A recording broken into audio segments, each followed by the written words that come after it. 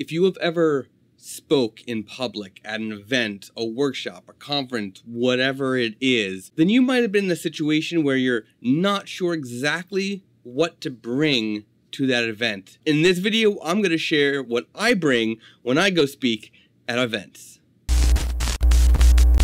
Hey, this is Scott Wyden Kivowitz, a storyteller with a camera talking about all the things photographers like you and I are thinking about.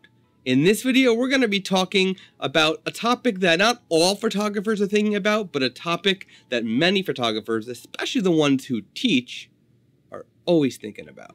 Now, I am in the process of preparing my class for WordCamp New York City, which happened, well, before this video went out. And I'm in the process of preparing what I'm bringing and actually the, you know, the keynote slides and all of that stuff.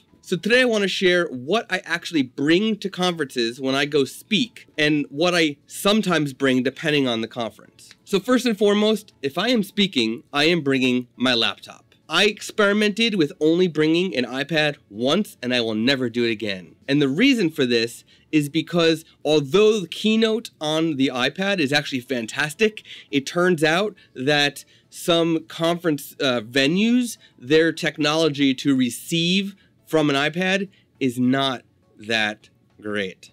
For example, I was speaking at a photography conference last year, and at that conference, my first session, I had two sessions on two different days, and the first session, it went, well, not so good. The AV system would not accept the video signal from the iPad in this particular room. On the next day, when I did the same exact session but in a different room, it took it perfectly fine. So over the first day, I actually had to borrow a laptop, get the keynote file on that laptop, and then do my session. I had to rush through it, and uh, I still got through it. I didn't have much time for Q&A, and you know what? The feedback I got was actually still pretty good, all things considered all the technical difficulties. But I'm never going to put myself in a situation like that again. I will bring a laptop, even if it's a hassle, to bring the laptop. Now, when going to conferences, I'm either driving or I am taking a plane or I'm taking a bus or a train or whatever. I always have my AirPods. I'm actually in the process of testing out this uh, case for the uh, AirPods. It's a sort of silicone case that actually has Qi charging in it. So instead of buying a new case for my AirPods, I just slip the AirPods into this, put it on my Qi charger, and now I'm recharging my AirPods. And of course, I can always take the case off and use a lightning cable if there's no Qi charging available a pen. I always have with me a pen. This is actually one of those space pens. It happens to also be like a tablet touchscreen thing, but I can pop it off, turn it around. I got a nice weighted pen that feels good in the hand, and it'll always work for me. Nice to have a pen handy, especially one that can write underwater and upside down and in space. Now, depending on the conference, I will bring a camera, like the one I'm actually filming on right now, the Nikon D850. I would bring it with one lens, most likely a prime lens, not a zoom lens. Uh, most likely a 35 millimeter so that I can vlog or I can record something and it's just a good overall all around lens. And with that, depending on the conference, I will bring a legit tripod. But sometimes I won't and I will only bring a handheld small sort of tabletop tripod. This is that tripod. This is actually from Manfrotto. It's a nice little tabletop tripod that can work with uh, any camera or it can work with a phone. So basically it's a ball head and it's got the three legs and the three legs can all extend. So I can get a little bit taller, but again, it's kind of small. I like this better than the GorillaPod because it's not flimsy. Uh, it still feels good in the hand. It's solid and it doesn't flop over when you just let it be. Now, if I am not bringing my camera, or if I am bringing my camera, I just want to also have something for my phone, I will bring this. This is the Glif. I think it's the, the second version of the Glif, but basically it's a, uh, it's got a tripod uh, hole there, a tripod hole there, and a tripod hole there. You put it on the top of the tripod, and then you can get your phone in there very easily. Now, one thing I am in the process of reviewing, and that is why I have this for this specific event, is this. This is actually the Camlapse, and this is basically an egg timer that my camera can go on, my big camera can go on, or I can actually put my phone on using this, and then I can turn this, and I can get a time lapse that is one hour long.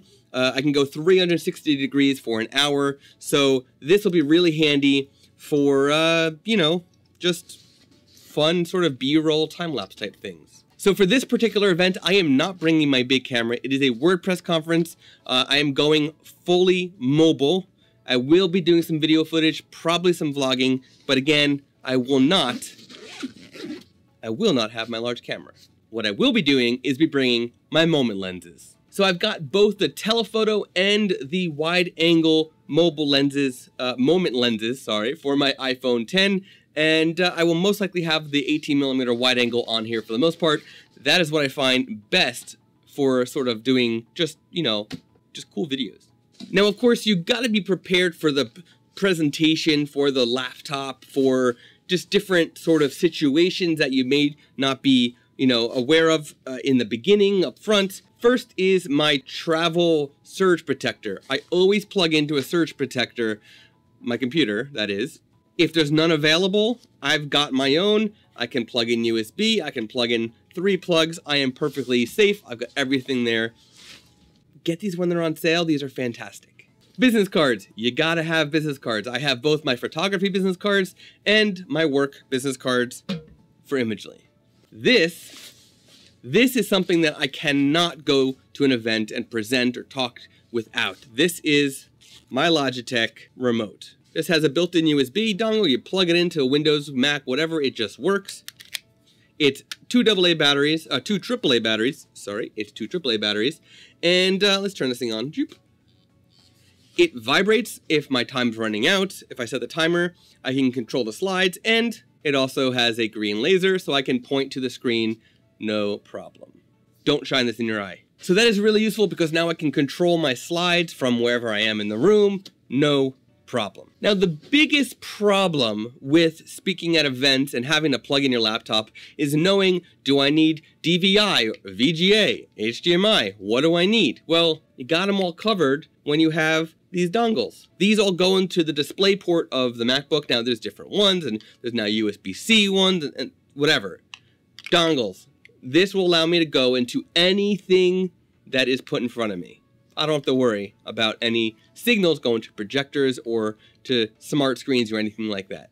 Of course, when you go to conferences, you don't always have the ability to plug into a wall when you're an attendee. And as a speaker, the only opportunity that you really have to plug into a wall for the most part is when you're is when you're presenting. You can plug in at the same time as your computer. That's why I have these. You just saw a video about these. These are my Qi chargers that are actually completely, these are battery backups for my phone. So I can charge both my AirPods and my phone with both of these for many charges. The charger for my laptop. Now this is actually inside of a product, the Sidewinder. Basically it keeps your Apple Power Block safe and lets you undo it like so, and then when you're all done, wind it up. As we all know, as Mac owners all know, the um, cable, the thin one, is extremely flimsy, especially where it meets the actual power block. So this solves that issue. Um, you do lose a little bit of the length of how long you can go, but it keeps your power block safe. I got a little bit of a bonus tip for you. If you're at an event where you do not know if it's being recorded and you want to have your talk, your session, your class, if you want that recorded, I recommend getting something like this. It's compact. Now, if you've got an extra camera that does video, by all means. I only have one at the moment. So this is the Mevo. This actually can live stream my session if I wanted to, and it can go on a tripod. I can hook it up to a wireless lav. It will basically allow me to either record my session or live stream it or both. I can live stream it to YouTube. I can live stream it to Facebook, wherever I want. Now this particular event, I did not bring the Mevo because every WordCamp session is actually recorded and put online for free after the fact. So there you go. That is what's in my bag for a typical conference that I'm speaking at.